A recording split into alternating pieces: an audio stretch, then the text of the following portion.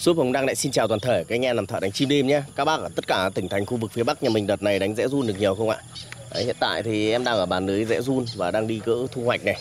Đấy, Trong thời điểm này bác nào cần củng cố lưới mới này Đấy, Cũng như là thay toàn bộ lưới mà muốn à, đặt một bàn đánh rẽ Thì có thể là tham khảo cho em. Qua số điện thoại em để ở góc màn hình video. Còn à, mùa này thì đánh được nhiều loại lắm anh em ạ. Rẽ đàn, rẽ đuôi xòe. Đấy, rẽ hú nhiều nơi gọi con nhát hoa. Đấy, nhưng mà đặc biệt đây là chỉ đánh rẽ đàn và rẽ đuôi xòe thôi. Đấy, còn à, đây là mắt đỏ. Tối hôm qua đánh bắt đầu lên lưới rồi anh ạ. Chim mắt đỏ là bắt đầu lên lưới rồi. Ở phía đây thì à, bàn này hôm nay à, được chắc tầm chục rồi anh ạ. Ba con cánh này.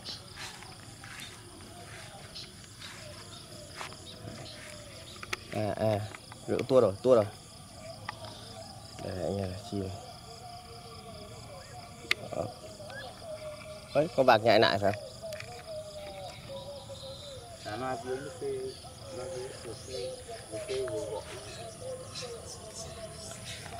Đây. Bên đây được à, một con Ở đây Run bần bật Đấy, khi nó vào túi nó đóng rất là sâu anh em nhìn này Còn này vào tít giường trên này giờ rẽ khôn ghê Đâm đa số giường cao nhiều Ờ, hôm nay miền Bắc thì có mưa đấy Nhưng mà khả năng là nó sẽ đi ngày Bởi vì ờ, đêm qua là không thấy đi rồi. Tinh rẽ kiểu rẽ lon. Còn ờ, về lưới đánh rẽ này thì sử dụng bằng lưới mắt 8 phân Sợi lưới 15 anh ạ. Sợi lưới 15 Hàng này thì chuyên rẽ và te anh em. Đấy, đánh rẽ đánh te đều ok hết. Và thời điểm này con te vàng cũng đang di cư khá là mạnh đấy. Để các bác tham khảo. Lưới lùng lưới trài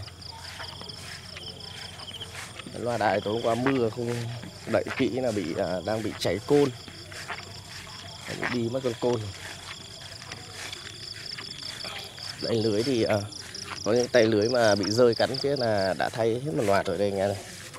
Đấy thì bác nào mà bám chốt thì có thể là tham khảo.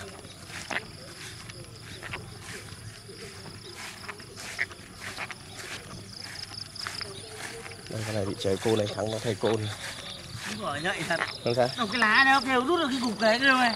rút cục nào Cục chân này. đâu là à ừ nhưng mà phải thay côn khác à? hay là vẫn côn đấy Đi để lưu tại cái đáp đây phơi mình nữa lại lấy. loa bứt mẹ đấy kìa đấy Anh chẳng nhớ đâu, chú nhà chú ăn đồ. anh chẳng biết gì nữa là anh đánh đạo cua nhìn nữa mắt anh sút su thật à sút xuống mương luôn đã gặp anh nhé mày còn cái giấy khô. Ôi, cái thằng đánh cua mà dám sờ vào đồ của em thì thôi coi như là cả họ nhà nó đều là giang hồ thật. Sợ nhất nghiện thôi. Ui, nghiện anh nhìn đéo sợ. Nó thích cái đồ Đây. cụ hùng đang gỡ. Cụ hùng gỡ chục con chim này mất tiếng đồng hồ. Có chim uh, lạc đác về anh em thì ờ, các bác ờ, lưu ý tập trung đánh nhé Đấy, còn là nhiều loại đánh được ví dụ như là vạc này te này tú hú này mắt đỏ này mắt xéo này trăng nghịch này. Đánh nhiều loại rồi anh em. Ok các bác nhé. Bác nào xem được video này à, cần à, đồ bẫy thì à, liên hệ cho em. Em để số điện thoại góc màn hình video. Bây giờ chào các bác đây